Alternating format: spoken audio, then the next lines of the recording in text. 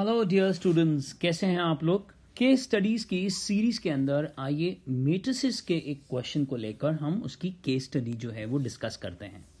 और ये क्वेश्चन ऐसा है जो आप जूनियर क्लासेस में भी कर चुके हैं जब आप linear equation in two variables की बात करा करते थे। और अब उसी क्वेश्चन को मेट्रिसिस और उसकी एक केस स्टडी के साथ हम करते हैं। आइए क्वेश्चन पर एंटर करते हैं। On her birthday, Seema decided to donate some money to children of an orphanage home. If there were eight children less, everyone would have got rupees 10 more.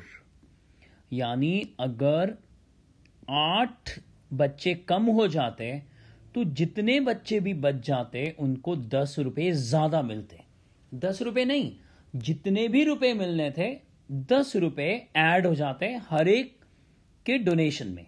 However if there were sixteen children more every one would have got rupees ten less लेकिन अगर जितने children को सीमा donate करना चाहती है, अगर 16 children और हो जाते तो हर चिल्ड्रन को, हर बच्चे को दस रुपए, जितने भी रुपए मिल रहे थे, दस रुपए कम मिलते let the number of children be x यानी एग्जामिनर ने हमारे को खुद कह दिया कि नंबर ऑफ़ चिल्ड्रन जो होंगे उनको एक्स मान लीजिए एंड द अमाउंट डिस्ट्रीब्यूटेड और donated by Seema for one child be rupees y और एक बच्चे को जितने रुपए दिए गए, उसको वाई मानिए। तो आइए, ये इस केस स्टडी को एक बार दोबारा से देख लेते हैं जल्दी से कि अगर एट चिल्ड्रन कम होते तो हर बच्चे को दस रुपए, जितने भी रुपए मिल रहे थे, उसमें दस रुपए ज़्यादा मिलते।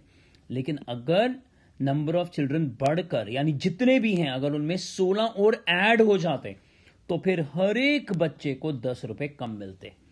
अगर एक्स है टोटल नंबर ऑफ़ किड्स या चिल्ड्रन और वाई वो अमाउंट है जो हर बच्चे को मिलेगा तो बताइए based on this information given above answer the following questions तो पहले क्वेश्चन की तरफ़ बढ़ते हैं. Let the equations in terms of x and y are ये ए दिया हुआ है और ये उसका बी पार्ट दिया हुआ है.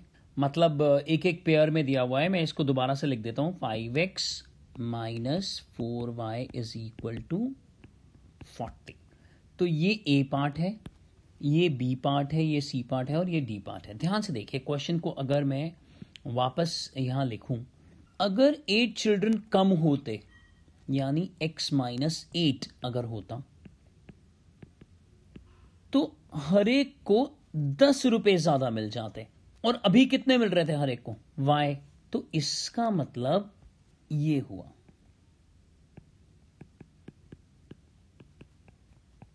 देखिए, आपने जूनियर क्लासेस में करा भी होगा, और अगर नहीं करा तो ये अभी क्लास ट्वेल्थ के लिए एक बहुत बहुत इंपॉर्टेंट क्वेश्चन है।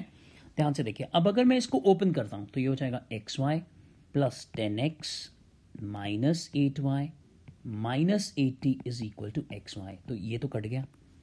और अगर मैं कॉमन लू, यहाँ पर टू तो ये हो जाएगा five x minus four y is equal to forty. तो एक इक्वेशन तो ये हो गई। अब आगे बढ़ते हैं। फिर से दोबारा देखना पड़ेगा।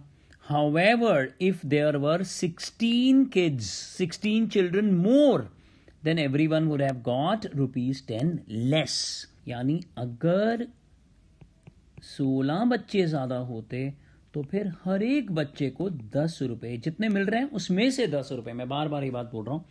कम मिलते तो देखिए, ये दूसरी इक्वेशन आ गई बच्चों। तो अब यहाँ थोड़ा कॉन्फिडेंस आपको मिल गया होगा। एक अच्छा क्वेश्चन ये देखिए कैंसिल हो गया है। इसमें भी अगर मैं टू कॉमन ले लूँ और माइनस भी कॉमन ले लूँ तो मेरे पास आ जाएगा five x minus eight y is equal to minus eighty तो यहाँ देखते हैं, ऐसा कोई कॉम्बिनेशन हमारे पास है? क्या कि, क्योंकि दोनों इक्वेशंस हमारे पास आ गई हैं। ये है सेकंड इक्वेशन और ये है फ़र्स्ट इक्वेशन देख लेते हैं, ऐसा कोई आंसर हमारे पास है क्या? यहाँ पर ऑप्शन ए जो है, वो एक परफेक्ट ऑप्शन है। यही आंसर आएगा यहाँ इससे ये देखिए, ये हो गया। अब आइए सेकंड क्वेश्चन पे चलते हैं। Which of the following matrix equations represent the information given above अब क्लियरली सेकंड पार्ट जो है, वो फ़र्स्ट पार्ट पर बेस्ड है। तो सीधा सीधा हमें बोला गया है कि मैट्रिक्स मॉडल में इसको कन्वर्ट कर दीजिए। तो एक बार फिर से हम इक्वेशंस लिखते हैं। अगर ऑलरेडी आपने लिखी हुई है तो दोबारा से लिखने की ज़रूरत नहीं है। तो आपको मालूम है, सबसे पहले कोएफिशिएंट मैट्रिक्स बनेगा, जो कि इन दोनों इक्वेशंस के वेरिएबल के कोएफिशिएंट से बनेगा। फिर उसके बाद हम लोग x लिख लेते हैं, यानी अननोन्स x और y, और फिर b लिख लिया जाता है।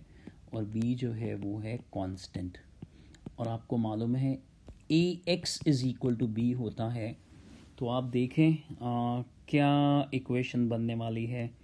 क्या ये फ़र्स्ट है? फ़र्स्ट तो नहीं है क्योंकि माइनस एट होना चाहिए। क्या ये सेकंड है? सेकंड भी नहीं है। क्या ये थर्ड है? जी हाँ थर्ड लग रहा है।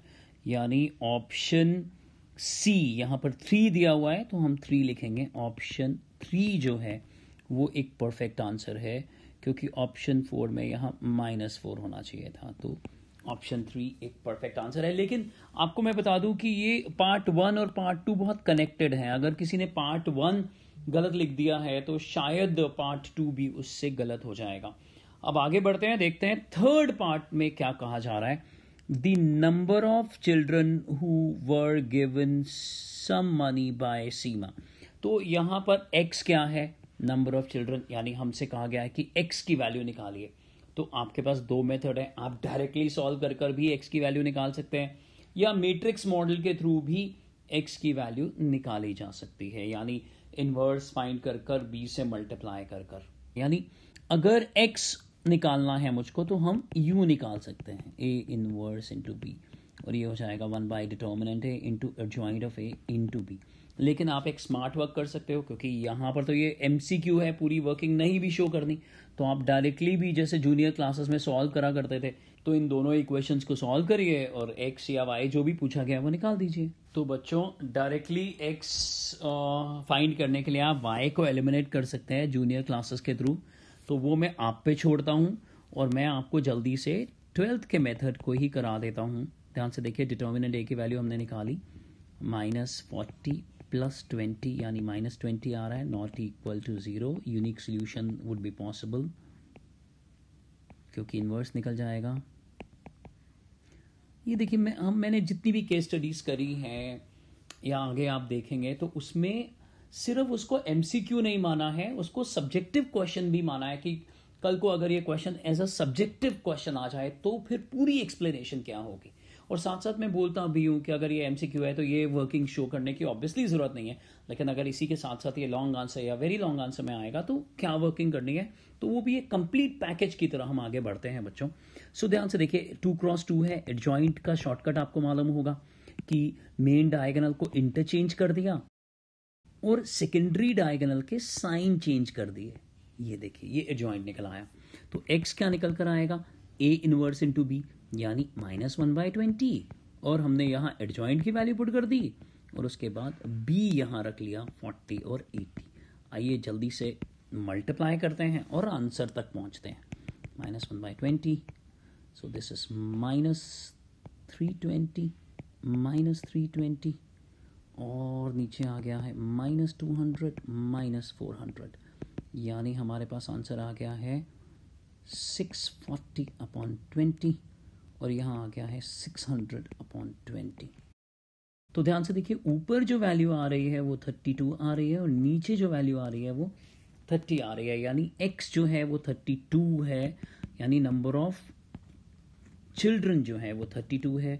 और वाई हमसे पूछा नहीं है, लेकिन वाई अ बाय प्रोडक्ट आ गया है कि शायद हो सकता है अगले पार्ट्स में पूछा जाए तो हमारे पास वाई की वैल्यू भी है कि थर्टी रुपीज़ दिए गए होंगे थर्टी टू चिल्ड्रन को। तो यहाँ फ़िलहाल चेक करते हैं, देखते हैं। तो x की वैल्यू यहाँ पर दिख रही है थर्टी टू यानी ऑप्शन डी जो है वो एक परफेक्ट ऑप्शन है। अब आगे बढ़ते हैं फोर्थ पार्ट की तरफ़, और जिस चीज़ के लिए हम बात कर रहे थे वही पूछ लिया गया।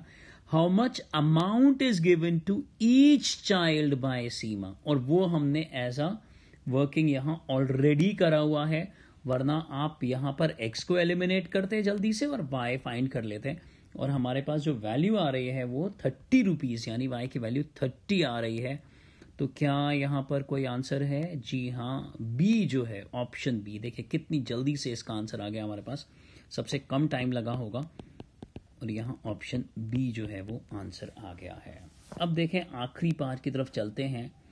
आखिरी पार्ट क्या बोल रहा है? आखिरी पार्ट कह रहा है that how much amount Seema spends in distributing the money to all the students of orphanage कि कितना अमाउंट उसने यूज़ करा है डोनेट करने में या डिस्ट्रीब्यूट करने में उन स्टूडेंट्स को। तो आइए इसके लिए पुराने पेज पर चलते हैं और ये देखिए, ये वो अमाउंट है। एक्चुअली में एक्स इन टू वाई तो ये वो अमाउंट है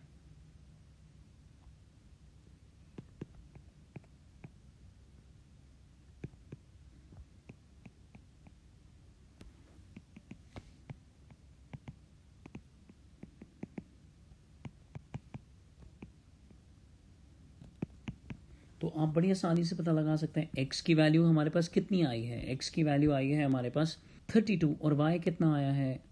थर्टी तो जैसे ही हम एक्स इंटू वाई निकालेंगे, यानी थर्टी टू इंटू थर्टी तो nine hundred and sixty rupees आना चाहिए आंसर तो यहाँ चेक करते हैं तो आपने पता लगा लिया होगा नाइन हंड्रेड एंड सिक्सटी यानी ऑप्शन बी जो है वो एक करेक्ट ऑप्शन है। इन सारे वीडियोस को अपने दोस्तों के साथ शेयर करा करो, यानी आप अपना जो पार्ट है कि जिसकी वजह से दूसरों को फ़ायदा हो सके, वो अच्छी तरह से निभा दिया करो।